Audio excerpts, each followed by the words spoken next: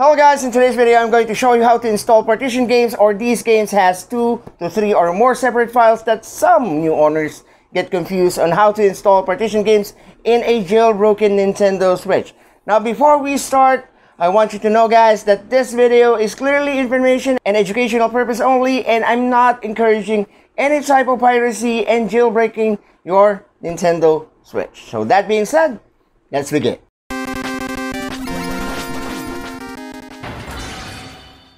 Now, before we start, there are things that you need to consider. First, you need a jailbroken or modded Nintendo Switch for this to work. Next, you will need a Awoo app in your Nintendo Switch, a C-port cable to connect the console to the PC, and lastly, in your PC, you will need to install the NSUSB loader to transfer the files back to the Nintendo Switch.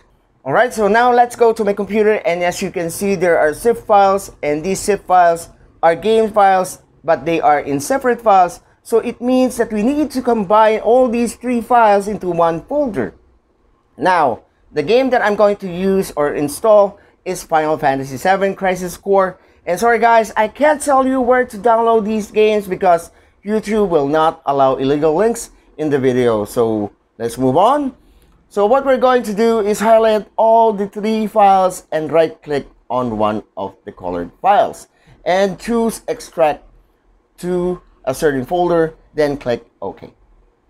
Then just wait for it to stop extracting, then go to the extracted folder, and you will see that there is a game installer inside. Now, the next thing that you're going to do is open your Nintendo Switch and open the Awoo app. Then choose connect by USB.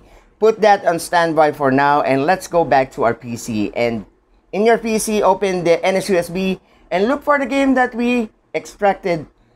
Choose that and now you will see it on the screen of the NSUSB. So just click the lower right button that says connect to NS. Now let's go back to the Nintendo Switch and you will see that there will be a message that will pop out on the Awoo app. Just click yes and it will start to install the game of Final Fantasy.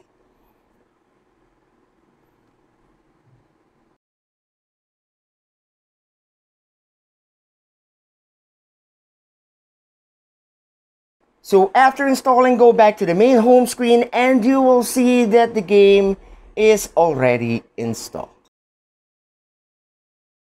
So that's about it for the video for today. Thanks so much for those who supported my channel and for those who are just new watching this video, please support me by subscribing and helping me to create a bigger community in my channel. So that's about it for the video for today, guys. Thanks so much for watching. This is Infoblitz 101. Make your own perspective and I'll be seeing you again on the next video blog. Have a great day, guys. Bye bye.